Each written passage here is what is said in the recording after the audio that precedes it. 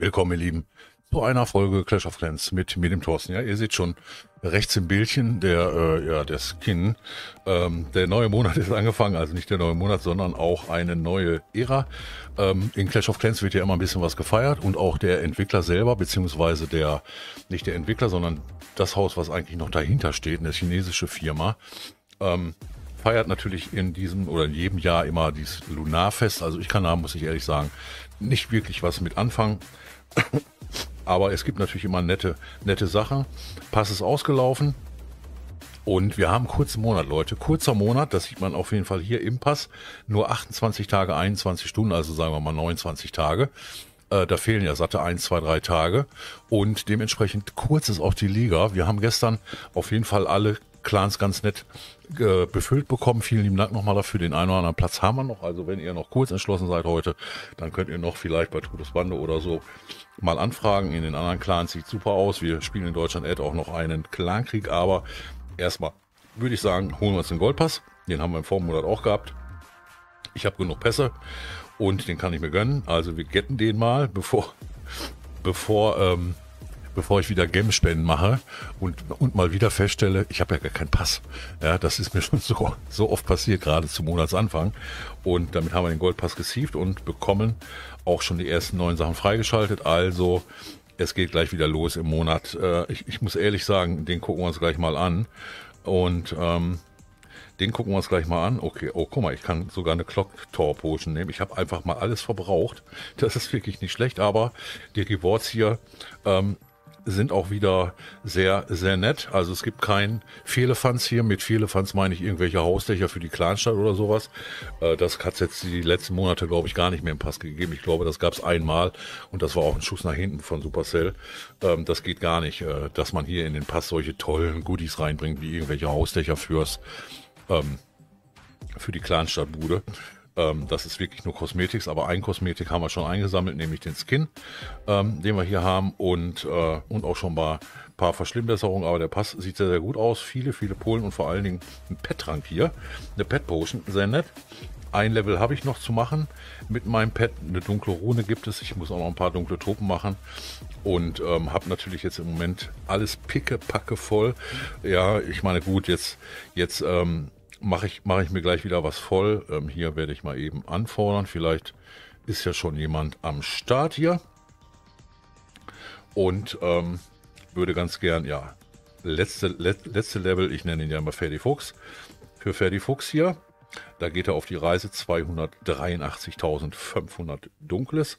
Das ist jetzt mit der kleinen 10%igen Verschlimmbesserung, glaube ich, durch den Pass etwas günstiger. Wird, man könnte jetzt natürlich sagen, okay, ich spiele jetzt erst erstmal in den Pass rein, ähm, um noch das Ganze noch günstiger zu bekommen, aber irgendwie ähm, bringt es das auch nicht, weil die Ressourcen werden ja nicht, werden ja eher weniger, äh, eher mehr als weniger. Und ähm, hier unten haben wir jetzt noch vier Stunden den Packer am Laufen. Danach haben wir hier nichts mehr mit Elex zu tun, sondern nur noch mit Dunklen. Das heißt, wir müssen sowieso fahren, bis der Arzt kommt. Ähm, also zumindest was das Dunkle angeht. Das heißt, wir können das Elixier schon schön in die Mauern stecken. Auch sehr, sehr schön. Ihr seht hier unten meine kleine Mauerbank. Okay, die kosten jetzt natürlich auch nicht 7,2, sondern 8,1. Ja, mein Gott. Mein Gott, dann kosten sie halt 8,1. Meine, ja, 8 Millionen 100.000. Okay, normal, Normalpreis 9 Millionen, stimmt das ja? Ne? Normalpreis 9 Millionen. Ja, das ist auch echt, es ist wirklich der Hammer. Aber okay, es sind halt Mauern. Mauern müssen gemacht werden, obwohl Mauern natürlich, äh, jetzt kann, kann ich schon keine mehr machen, drei Stück haben wir geschafft oder vier, ne? Ähm, wo wir, wobei wir natürlich sagen müssen, Mauern werden übersprungen, überflogen, unterbuddelt, was auch immer. Aber trotzdem, sieht schick aus. Sieht ja ganz schick aus und was können wir weitermachen hier, Wizard Tower? Ich nehme immer ganz gerne das teuerste hier, also nehmen wir mal einen Wizard Tower, den letzten glaube ich, müsste das auch sein.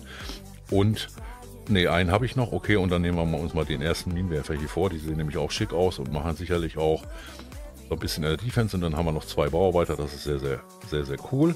Hier, den können wir sicherlich mal anstoßen. Ich habe noch eine Pet Potion, eine habe ich noch, glaube ich. Ja, eine habe ich noch, aber es gibt eine Pet Potion hier. Äh, A, A im Pass irgendwo ziemlich zu Anfang sogar da. Und es gibt eine, ähm, es gibt auch eine Potion glaube ich, hier bei der Herausforderung. Aber bei der Herausforderung, Leute, da gibt es auch noch was anderes, was es im Moment nicht gibt. Ich denke mal, die Szenerie wird es wieder zu kaufen geben. Wir gehen mal rein, einfach so in Attack. Ich will das jetzt nicht attacken. Ich muss mir das erst beim, beim großen Meister im Tutorial anschauen, ob das überhaupt klappt. Aber ähm, sehr schön hier diese Unterwasserwelt ähm, soll das, glaube ich, darstellen hier. Wobei ich ähm, mir heute Morgen das Video, das äh, Vorstellungsvideo hier zum Lunarfest angeschaut habe. Ähm, mit, dem, mit dem Wasserblasen. Sehr, sehr, sehr, sehr schön animiert. Und ähm, also finde ich ganz nett. Ich denke mal, die werde ich mir auch holen, je nachdem, wie sie dann wieder aussieht. Außenrum ein bisschen wenig ist es ja geworden. Aber letztendlich ähm, wollte ich einmal auf den Skin hier, hier drauf. Und äh, da, muss ich, da muss ich ehrlich gestehen, Puh, der ist grenzwertig, oder? Nachdem, nach, nachdem man uns wirklich schöne Skins ähm, hier zur Verfügung gestellt hat für, die, ähm, für den Royal Champion hier mit dem, mit dem Geist Champion oder mit dem Champion, Champion, Champions, Champions, Champion oder aber mit dem leckeren Lebkuchen Champion hier, ähm, gibt man uns jetzt das hier. Puh. Grenzwertig, oder? Also schick ist was anderes. Ich guck mal gerade. Ah ne, da hat sie noch eine Hose an, okay. Äh, schick ist was anderes, muss ich sagen. Vor allen Dingen mit diesem komischen Helm. Aber gut, da streiten sich die Geister, ob man das gut findet oder nicht. Wir equippen die einfach mal. Wir equippen die mal und ähm, ich sehe, es ist keiner da. Ja, eins von 24. Da, die glänzen auch mal wieder durch Abwesenheit. Ich habe auch wirklich alles im Moment ausgegeben hier. Äh, was, was mit Raid Medals, was mit Raid Medals eigentlich geht. Äh, Potion, Potion, alle Pet Potions und ähm, habe hier nochmal so ein bisschen reingepusht. Ich hoffe, das habt ihr auch gemacht, denn die Potions sind zum Ausgeben da. Keine Frage. Machen wir ein bisschen Clash of Clans. Wir wollen ja auch ein bisschen am Ball bleiben, müssen natürlich ähm, jetzt noch ein bisschen dunkle sammeln, weil in vier Stunden läuft mein Packer aus und dann habe ich nur noch dunkle Sachen im Labor zu machen und habe natürlich gar nicht so das, das Dunkle am Start, dadurch, dass ich das Pad gemacht habe. Helden, habt ihr ja mal gesehen in meinem Video, sind schon Max. Ihr könnt mir gerne in die Kommentare schreiben, was ihr von diesem Lunarfest haltet. Ähm, könnt ihr da genauso wenig mit anfangen wie ich. Also ich bin ganz ehrlich, ich oute mich ja auch, ich kann da wirklich wenig mit anfangen. Ähm, ich meine, klar, die Chinesen können auch mit unserem Karneval nicht, nicht super viel anfangen, obwohl das gar nicht mal so weit weg ist. Den können wir mal mitnehmen hier. Aber ähm, nichtsdestotrotz, wo ist der Adler? Da ist der Adler, okay. Und hier haben wir Multi, Multi, Multi, Multi, Adler, Adler, Adler. Äh, machen wir mal so. Und ähm, deswegen schreibt mir gerne in die Kommentare, was ihr davon haltet, von diesem, von dem Fest, der Feste. Ähm, okay, jetzt für mich, wie gesagt, ist das nicht, nicht, nicht so wirklich ein Fest, was ich feiere, aber ähm, wo wir auf jeden Fall ein bisschen aufpassen müssen, ist die verkürzte Liga nur auf, nur auf fünf Tage oder fünf Spieltage, beziehungsweise dann auch nur mit sechs Clans. Ich bin mal gespannt, wie klein die Liga werden. Ent, ent, entweder ist das wirklich jetzt dem geschuldet, dass man sagt, ähm, wir machen die Liga ein bisschen kleiner und ein bisschen kürzer, weil es kommt ein anstehendes Event es kommt noch ein, oder es, es, es wird ein anstehendes Event geben. Okay, sage sag, sag ich jetzt mal so, okay. Was das dann wohl für eins ist, bin ich wirklich mal gespannt, was das für ein sein könnte. Und da ist der Scatter, den müssen wir mal ein bisschen aufhalten. Und hier hinten halten wir auch mal ein bisschen was auf. Einige gehen ja nach da, einige gehen mal wieder nach da, okay. Aber hier heilen wir mal eben einmal durch. Und hier sind auch noch so ein paar am Start. Oh, das ist aber auch immer ein Gewurstel hier, ne? Meine Herren? Das ist aber auch immer ein Gewurstel hier. Echt. Da weißt du nicht, wo deine Truppen genau sind. Und ähm, ich weiß auch gar nicht, ob der, ob der kleine Bug hier mit der, naja, unsterblich ist der King nicht, aber er ist schon ziemlich stark. er ist schon ziemlich, schon ziemlich stark. Letzten CK haben wir leider verloren, Leute. Letzten CK haben wir leider verloren. Ähm, was jetzt nicht so schlimm ist. Dafür sind Clankriege da, dass man auch mal, ganz klar, auch mal verliert. Ähm, so ist das nun mal. Der Warden hat hier noch überlebt. Unsere Queen ähm, ist noch am Start. Warden und Queen noch am Start. Okay, aber die Queen wird es jetzt auch gleich dahin raffen, denn ohne Heilung wird das nichts mehr, selbst gegen einen kleinen Minenwerfer. Aber wir kriegen hier außen noch ein paar Ressourcen. Ja, sieht doch ganz gut aus. Haben wir ganz gut gemacht, denke ich mal. Und haben uns hier schon mal ja, eingeschossen für den Monat Februar. Wie gesagt, ist ein kurzer Monat und ähm, aber nichtsdestotrotz geht es hier ganz normal weiter und der erste Monat ist auch wirklich wieder mal, ja, wie soll man sagen, erschreckend, erschreckend schnell rumgegangen.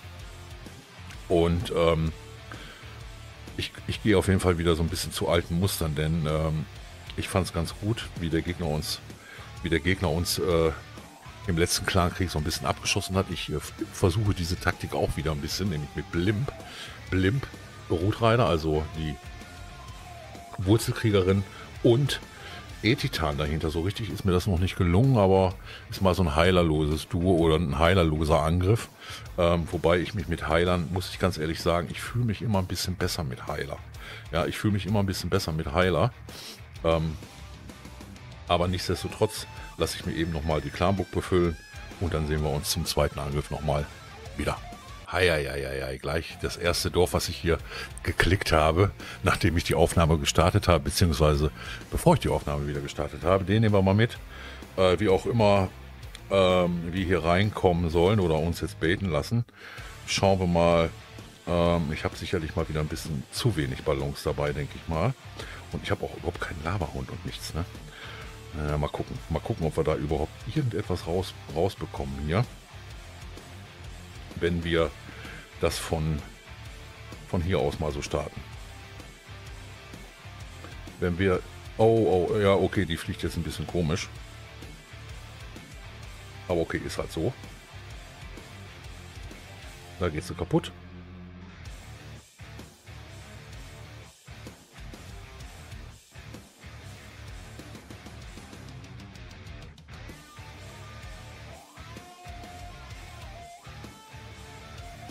Sind sie am Start, aber die haben, die haben wirklich nichts geschafft jetzt, ne? Ah, ich habe natürlich auch welche verloren. Okay, den Monolithen bekommen wir auch noch, sehr schick. Das ist nicht schlecht. Und dann denke ich mal, da hinten haben wir ein bisschen Clean-up. Dann können wir hier reingehen mit unseren Widerreiterinnen. King dahinter, Queen dahinter, den Warden und 1, 2, 3, 4 E-Titanen. Die nehmen wir mal mit. Hier hinten können wir schon mal ein bisschen für Clean-up sorgen da und da. Und ja, jetzt, okay. Das Ganze geht jetzt natürlich zauberlos hier durch, klar. Das Ganze geht natürlich zauberlos hier durch. Aber ähm, wir müssen ein bisschen aufpassen. Giftzauber dort, okay. Ist, ist der noch ausgelöst worden? Muss ich, muss ich mal gerade checken. Ist er jetzt noch ausgelöst worden oder eher nicht? Ah, weiß ich jetzt auch nicht. Okay, der, der fällt da. Mein Roll Champion ist natürlich ganz allein auf weiter Flur hier vorne. Okay, und kriegt auch gleich auf die Mütze da. 45 gegen 41, keine Chance in der Verteidigung. Okay, also keine Chance in der Offensive gegen die Verteidigung. Rootreiter sind noch dabei. Auch die E-Titanien hier schön hinter den King. Mit der kleinen Aura. Davor sind die Wurzelreiterinnen. Kann man jetzt mal ein bisschen, bisschen besser beobachten. Ich gehe mal ein bisschen näher für euch rein. Und ähm, aber gar nicht mal so schlecht, die Taktik hier. Okay, die Blimp muss natürlich, wenn, wenn die vergleicht, Leute, dann ist der Angriff hier Essig. Dann kann man nur noch irgendwie hoffen im Clankrieg, dass man das irgendwie schafft. Aber das sieht sehr, sehr gut aus hier. Okay, das ist das erste Mal, dass ich mit dieser Kombi hier überhaupt ein bisschen was mache. Hatte jetzt am Anfang ein bisschen Glück, dass die, dass die Blimp doch ganz gut durchging. Und der Rest hier ist gar nicht mal so schlecht, aber im Moment ähm, ist es auch eine, eine ziemlich coole Taktik, weil die Bogenschützen haben natürlich ein Level zugelegt und ähm, das ist schon, das ist schon gar nicht mal so ohne. Das heißt also, die Superbogenschützen sind natürlich dementsprechend auch ein bisschen stärker geworden. Also schon keine schlechte Taktik hier. Tagesbonus haben wir auch noch reinbekommen. Okay, Ärzte, Ärzte, Ärzte, Ärzte. Ich weiß immer noch nicht, was ich mit den Ärzten hier mache. Bald sind die Lager hier voll und ich habe noch nichts weiter gelevelt. Also im Moment weiß ich nicht, was ich hier weiter leveln sollte.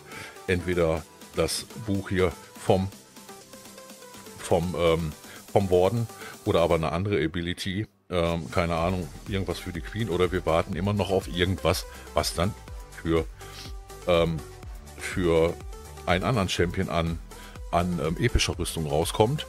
Äh, Im Nachtdorf, okay, Leute, Nachtdorf, ne? Starkes Nachtdorf, sieht immer besser aus hier, wird immer maxter. Wird immer maxter weil wir haben auch nichts mehr zu tun. Ich habe gestern mein letztes Teil hier angestoßen. Da seht ihr hier, die letzte Kanone läuft und dementsprechend machen wir jetzt noch Elex Truppen haben wir sowieso schon alle fertig. Und dann können wir hier fröhlich und frei immer schön unser, unser Ding, unser Zeug hier ausgeben. Das ist sehr schick. Also Gold und Elex hier gut investiert. 900.000 auch. Das ist auch ganz schön viel, muss ich sagen.